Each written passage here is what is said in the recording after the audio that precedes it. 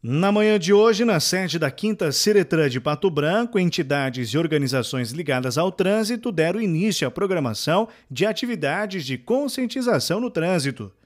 A partir desta segunda-feira até o dia 25 serão realizadas diversas ações relacionadas ao trânsito. É a Semana Nacional do Trânsito que começa. Com a participação de vários órgãos, entidades eh, que buscarão durante esse período enaltecer e destacar a importância é, da prevenção em relação aos acidentes de trânsito, da participação comunitária para a, a diminuição dos acidentes e também uma melhoria na condição de mobilidade, fazendo com que todos observem, observem nesse contexto de trânsito a sua participação como pedestre, como motorista, como usuário do sistema. Grande preocupação das autoridades é o número alto de acidentes registrados em Pato Branco, tanto na região central da cidade como em rodovias. Abordaremos durante essa semana, enaltecendo e destacando esta é, difícil condição né, que temos, até mesmo por conta do aumento considerável da nossa frota é, circulante e também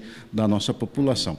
À medida que nós temos um, um acréscimo nesses números, nós temos também, de forma potencializada, a possibilidade de acidente. Temos que conscientizar os motoristas aí, e nada melhor que a, o início da Semana de, Nacional de Trânsito. Infelizmente, nossas rodovias né, é, está acontecendo muito acidente.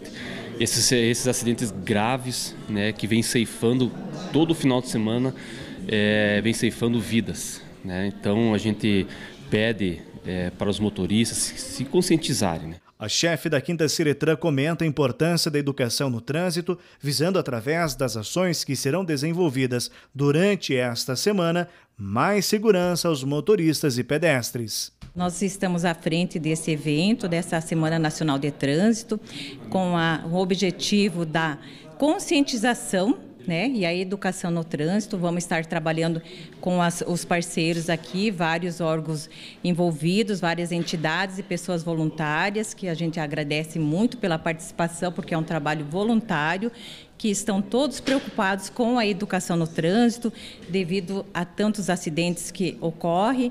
Então, a conscientização e a educação do trânsito é muito importante nessa, na nossa cidade.